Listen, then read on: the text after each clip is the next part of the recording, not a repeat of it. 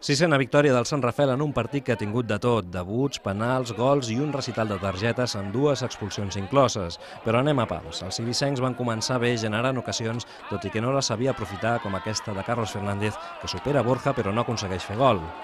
Al minut 18, el debutant Cristóbal rebia una entrada de Vic a l'interior de l'àrea i Albertí Oñate assenyalava penal i expulsava el defensa visitant, que deixava el seu equip en 10 amb molt partit per endavant. El mateix Cristóbal s'encarregava de llançar des dels 11 metres i feia l'1-0 desencadenant l'alegria al municipal de Sant Rafel. Debut i gol del català, però immediatament empataven els mallorquins gràcies a una rematada de Mini que s'empassava José Antonio per sota de les cames.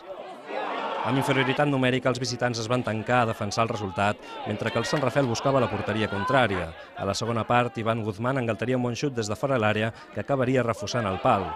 Passaven els minuts i el segon gol no arribava. Mentrestant, Albertí Oñate, vell conegut del Sant Rafel, feia el seu particular recital de targetes. En total ensenyaria 13 grogues i dues vermelles, la segona al local José Luis, que seria expulsat per una duríssima entrada a Puig. S'equilibraven les forces, doncs, i es complicava el partit pels rafalers.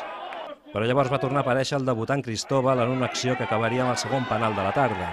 En aquest cas, Dani seria l'encarregat de transformar la pena màxima i fer pujar el marcador al 2 a 1. Ja a les acaballes, un greu error del porter visitant serviria perquè Suso tanqués el partit amb el definitiu 3 a 1.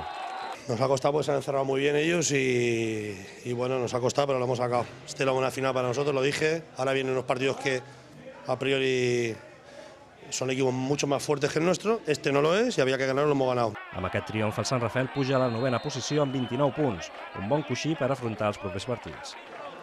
Victòria, doncs, per al Sant Rafel i victòria també per la penya deportiva que dissabte s'imposava per 0-1 al camp de l'Arenal, posant-se només 4 punts del playoff. Precisament, els dos equips ibicencs de la tercera Balear es veuran les cares a la propera jornada en el derbi pitius de la categoria.